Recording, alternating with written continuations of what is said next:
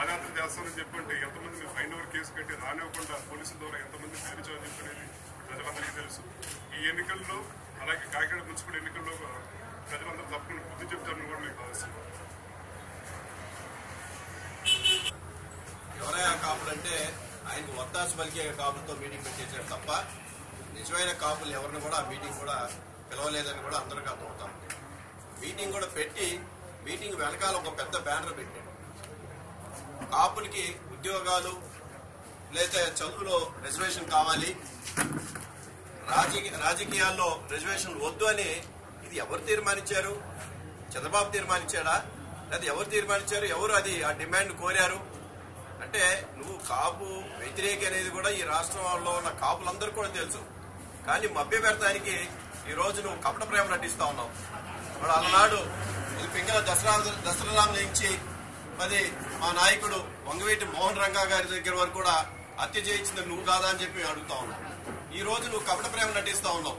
కాపులకి రిజర్వేషన్ కల్పిస్తా అని చెప్పి రెండు వేల పద్నాలుగు ఎన్నికల్లో మరి నువ్వు హామీలు ఇచ్చి పది సంవత్సరానికి వెయ్యి కోట్ల రూపాయలు ఇస్తానని కూడా హామీ ఇచ్చి ఈ రోజు కూడా రెండున్నర ఏళ్ళ తర్వాత కూడా నువ్వు చేయకపోతే దాన్ని అక్కడ కాపు నాయకుడు ముద్రగడ పద్మనాభం గారు దాన్ని డిమాండ్ చేస్తే దాని గురించి చెప్పకుండా మీరు అలా ఏదో మీరు గతంలో కాంగ్రెస్ పార్టీ చేయలేదు లేకపోతే ఇంకోళ్ళు చేయలేదని తప్పుడు ప్రకటిస్తావు తప్ప నువ్వు ఇచ్చిన హామీ గురించి సరైన ప్రకటన ఏ రోజైనా చేసావా?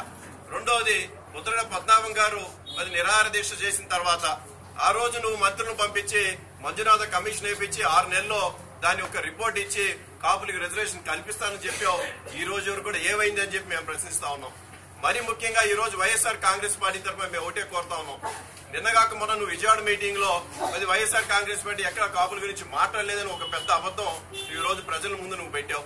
మేము ఇప్పటికే చెప్తా ఉన్నాం. నువ్వు కళ్ళున్న కబోద్ అయితే ఆ రోజు వైఎస్ఆర్ కాంగ్రెస్ పార్టీ ఒక మేనిఫెస్టోలో చూడాల్సిందిగా కోరుతా ఉన్నాం. మేనిఫెస్టో ముప్పై ఆరో పేజీలో క్లియర్గా కాపులకి రిజర్వేషన్ కల్పిస్తానికి బీసీలకి ఎక్కడా కూడా ఒక చిన్న పొరపాటు కూడా జరగకుండా ఒక చిన్న ఇది కూడా రాకుండా కాపులకి రిజర్వేషన్ కల్పిస్తానని వైఎస్ఆర్ కాంగ్రెస్ పార్టీ కూడా చెప్పడం జరిగింది. ఇవన్నీ కూడా ప్రజల దృష్టిలో నువ్వు తప్పుదారి పట్టించే అలవాటు ఉన్న వ్యక్తి కాబట్టి ఇప్పటికైనా అది మానుకోమని చెప్పి మేము కోరుకుంటూ కాపుల మీద ఇప్పటికైనా సరే రిజర్వేషన్ కల్పించేయాలని చెప్పి మేము కోరుతా ఉన్నాం.